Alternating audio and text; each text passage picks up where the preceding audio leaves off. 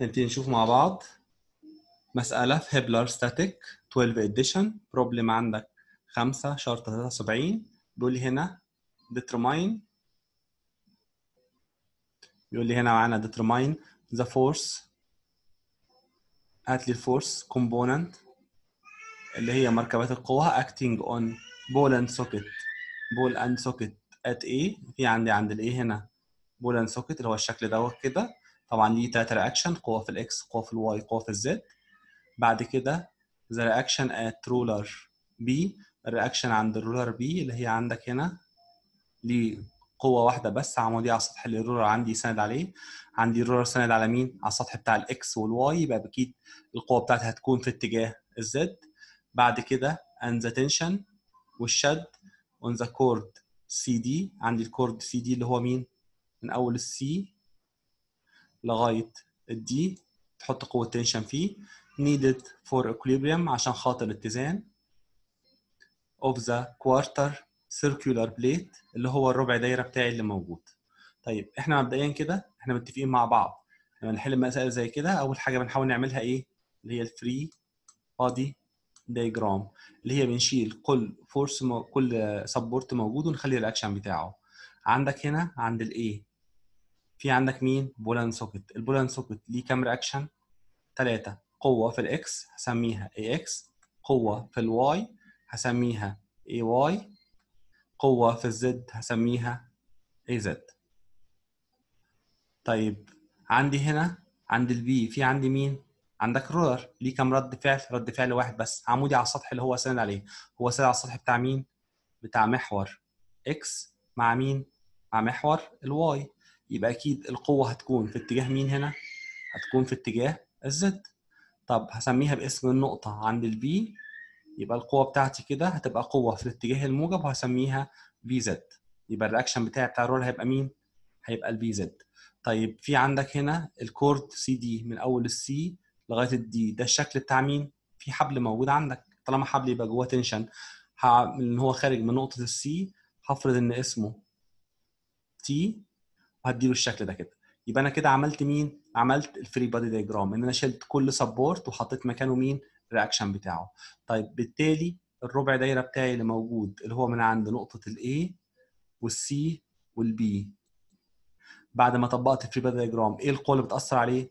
اللي بتأثر عليه قوة ال AX قوة ال AY قوة ال AZ القوة 350 قوة ال tension قوة 200 ال force 200 وال force BZ عشان أحل مسألة زي كده قلنا هنطبق اتزان بتاع الجسم في ال forces بتاعتي الكلية بزيرو وال moment الكلي بتاعي بزيرو. عشان أطبق ال force الكلية هقول إيه؟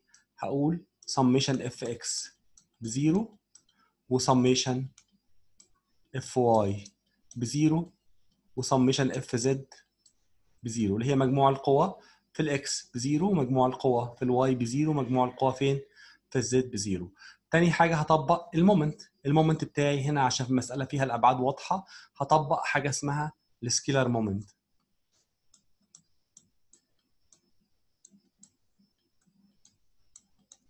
اللي هو ال moment بتاعي بيساوي ال force في ال orthogonal distance القوة في المسافة العمودية اللي هي ال F فين؟ في ال D وحسب اتجاه الدوران. الدوران في الاتجاه ده اللي هو مع عقارب الساعة بياخد إشارة سالبة والدوران في الاتجاه ده اللي هو عكس عقارب الساعة بياخد إشارة موجبة. وساعتها هطبق سميشن ام إكس بزيرو و summation MY بزيرو وسميشن ام زد بزيرو. هتلاقي الموضوع بسيط وسهل. طب تعالى نطبق الكلام ده كده. ده كده الشكل بتاعي بعد عملت ال free body diagram هنبتدي نطبق في الأول سميشن اف إكس و summation FY وسميشن مين؟ FZ أول حاجة هقول عليها سميشن عندي اف إكس بزيرو. عندك في سميشن اف إكس بزيرو ده كده اللي هو اتجاه محور ال X بتاعي. عندك في اتجاه محور X مين بس القوة اللي موجوده عندك في ال X ما عنديش غير ال AX عشان كده قيمة ال AX بتاعتي بكام؟ قيمة ال AX عندك بزيرو. طيب هنطبق بعد كده summation ال FY بزيرو. اللي هي مجموع القوى في ال Y بزيرو. عندك في اتجاه محور ال Y اللي هو ده كده محور ال Y بتاعي. إيه القوة اللي بتأثر عندك في ال Y؟ ما عنديش بس غير مين؟ غير ال AY يبقى ال AY بتاعتي هتساوي إيه؟ هتساوي zero. طيب بعد كده هنطبق مين؟ summation ال force عندي في ال Z بزيرو اللي هي مجموع القوى في ال Z بزيرو. عندي هنا في اتجاه محور Z إيه القوة اللي موجودة عندك في ال Z أول حاجة عندك في ال Z في عندك القوة AZ سهمها طالع لأعلى في اتجاه الموجب يبقى قيمتها AZ موجبه طيب عندي مين تاني بعد كده؟ عندك القوة اللي هي ديت اللي هي ال BZ طلع سهمها برضه طالع لأعلى في اتجاه ال Z الموجب يبقى قيمتها إيه؟ موجبه ب BZ طيب عندي مين تاني؟ عندك القوة اللي هي تنشن التي ده. اتجاهه برضه طالع لأعلى يبقى زائد مين؟ زائد التي عندي مين تاني بعد كده؟ عندي القوة ناقص 200 هيبقى الأسفل. يبقى ناقص عندي 200 في عندي القوة الثانية اللي هي برضه ناقص 200 اتجاهها الأسفل تاخد إشارة سالبة يبقى ناقص 200 في عندي القوة اللي هي كام؟ الفورس بتاعتي اللي هي 350 برضو لأسفل هتاخد إشارة سالبة ناقص 350 الكلام ده هيساوي zero. لو إحنا حبينا نحرك ال 200 وال 200 و 350 في الطرف ده هنوديهم بإشارة موجبة. هتجد إن ال equation بتاعتك هتاخد الشكل ده كده. ال AZ زائد ال BZ زائد ال T هيساوي 750 نيوتن وهسمي ال equation دي بتاعتي رقم واحد. يبقى إحنا كده طبقنا مجموع القوى في ال X بزيرو مجموع القوى في ال Y بزيرو مجموع القوى في ال Z بزيرو. طلعنا منها قيمة AX بزيرو وقيمة AY بزيرو طلعنا ال equation بتاعتي رقم واحد اللي فيها AZ وال BZ ومين؟ وال T بيساوي 750 طب تعالى نكمل كده.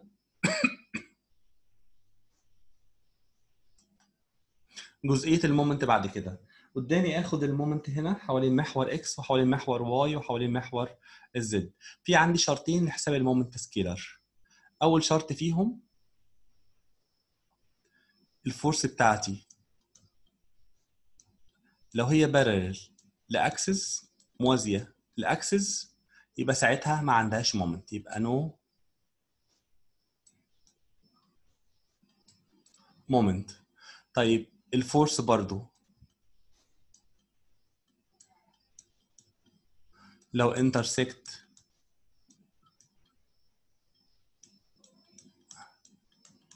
axis بتقطع axis برضه هيكون إيه؟ هيكون no هيكون no moment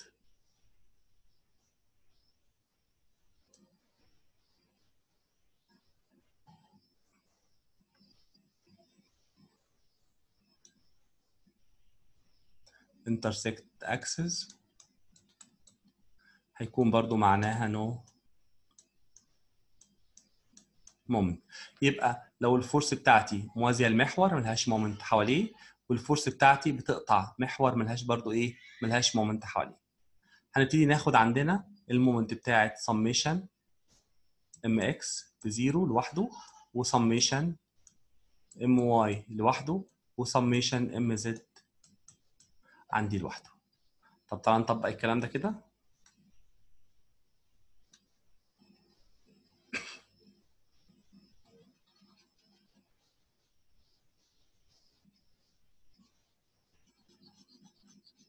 هنبتدي في الأول.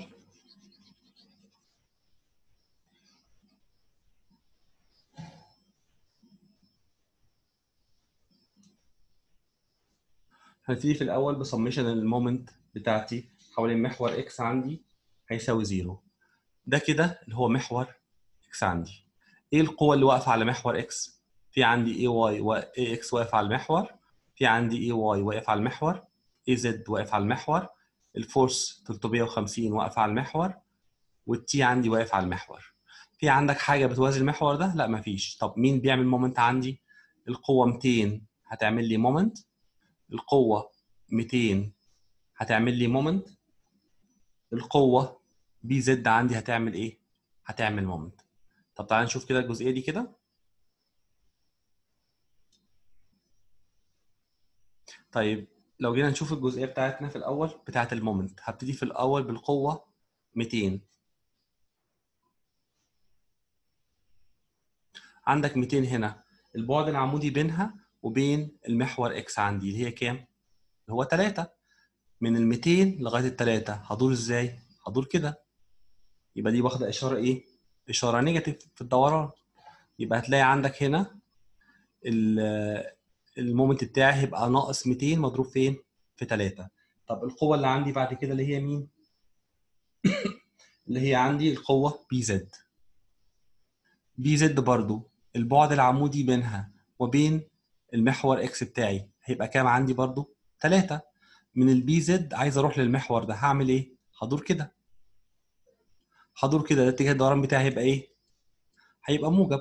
هتلاقي عندك هنا ال B z بتاعتي مضروبة في 3 وإشارة إشارة موجبة. طيب القوة بتاعتي اللي هي ديت ال 200 بعدها إيه العمودي عن محور ال x بتاعي؟ هتجد المسافة العمودية اللي هي المسافة دي.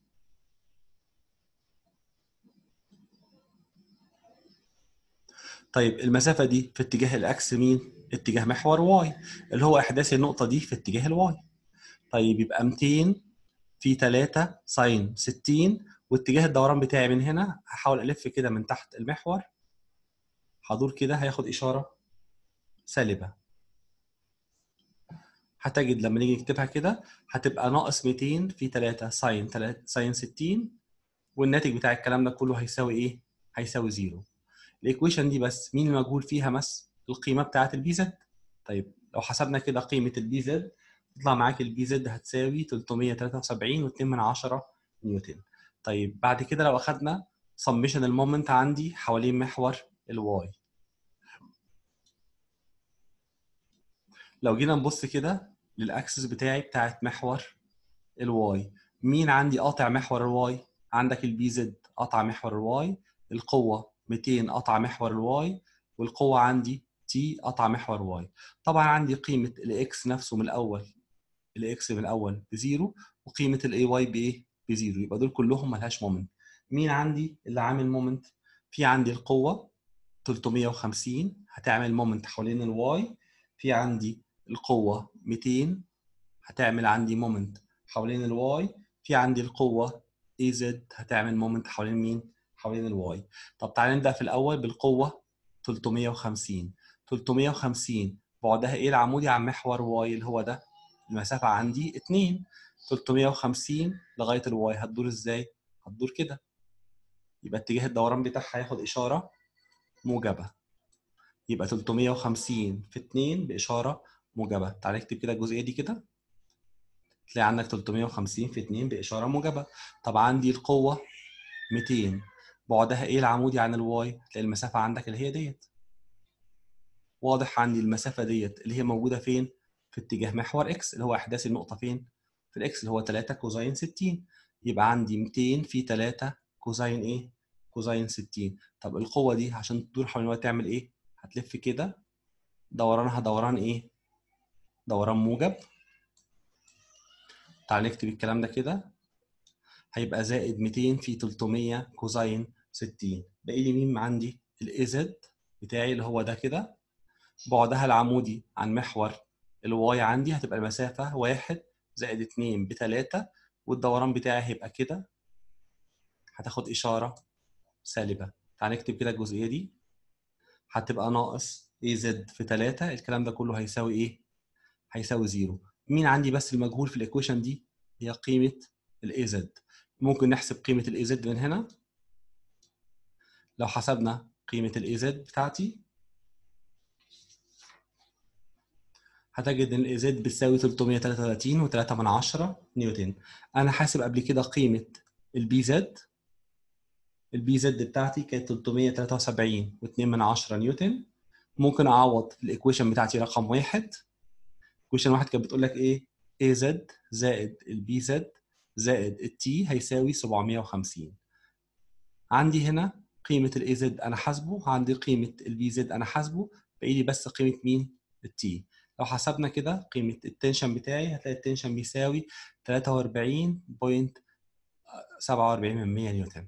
يبقى كده المسألة بتاعتي خلصت. أهم حاجة في الجزئية هنا هو لما باجي أحسب ال moment بتاعي بطريقة scalar بطبق القاعدتين الأساسيين بتوعي اللي هي القوة المسافة العمودية وحسب اتجاه الدوران.